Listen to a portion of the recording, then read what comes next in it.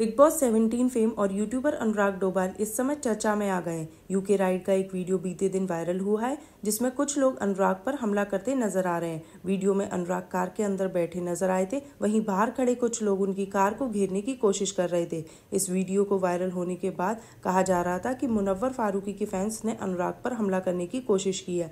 अनुराग डोभाल और मुनव्वर फारूकी के बीच कभी नहीं बनी। दोनों बिग बॉस के घर में हमेशा एक दूसरे के खिलाफ नज़र आए। वहीं शो में बाहर आने के बाद भी दोनों के बीच सोशल मीडिया पर जुबानी जंग का सिलसिला जारी रहा।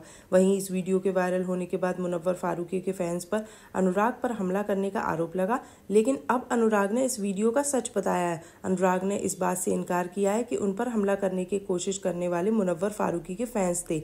न्यूज़ एटीन शोशा से बात करते हुए अनुराग ने खुलासा किया कि उनका वो वायरल वीडियो उनके लेटेस्ट ब्लॉग के दौरान का है। यूके राइड ने कहा कि मैं यमुनानगर एक इवेंट के लिए जा रहा था। वो वीडियो उसी दौरान का है। वीडियो में मुझे मेरे ही फैंस ने घेर लिया था। अनुराग ने बताया कि उनका जो मीटअप था, वो सोशल मुद्दे और रोड सेफ्टी को लेकर था। वह सभी राइडर्स के लिए गिव अवे भी था। इस बीच वहाँ फैंस आ गए थे और इवेंट में एक किलोमीटर पूरे हाईवे को ब्लॉक कर दिया था।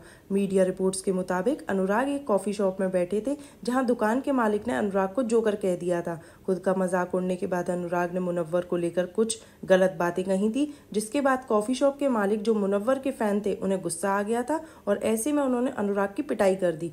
लेकिन अब अनुराग ने इस पर अपनी सफ़ाई देते हुए इसे खारिज कर दिया है। दी गई जानकारी पसंद आई हो तो वीडियो को लाइक करें और हमारे चैनल खबरी टुकड़ा को सब्सक्राइब करें। धन्यवाद।